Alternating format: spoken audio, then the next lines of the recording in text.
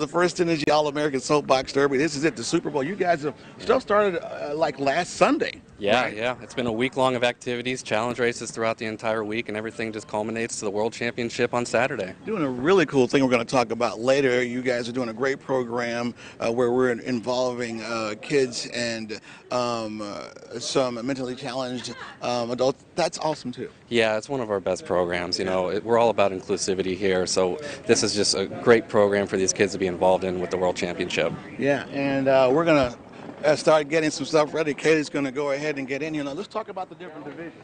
Yeah, so we've got three different divisions uh, competing in the World Championship on Saturday. This right here, what you're seeing, is our Super Stock division. This is kind of our intermediate, our middle class.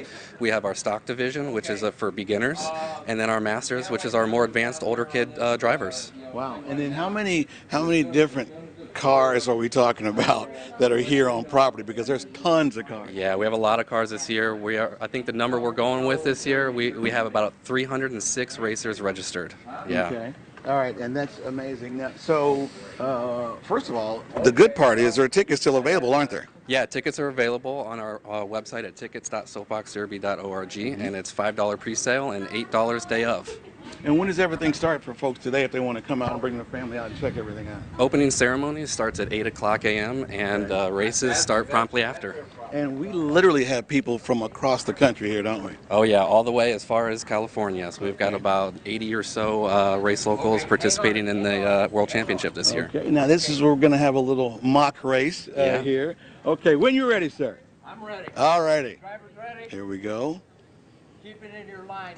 Do not find a sweet spot on the track. Now, how fast? First of all, how long is the track? The track is 989 feet. Okay. And then how fast will some of these cars reach uh, at, at the, uh, how fast will they go and the speeds they'll reach at the end of the uh, finish line? Uh, these cars will go about uh, 35 miles an hour on average. Look at that. Man, they are moving quick, aren't they?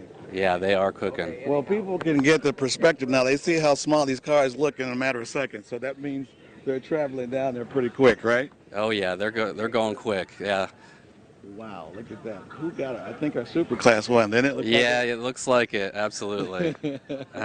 This is amazing, and the, the opportunities these kids have to not only learn about cars, but the engineering and the principle they think because uh, weight means speed. So if you have a you have a youngster who's maybe 90 pounds or 80 pounds, how are they going to compete with someone who weighs more? well, they make up the rest of the weight in the car. So the lighter the kid, the more weight they put in the car.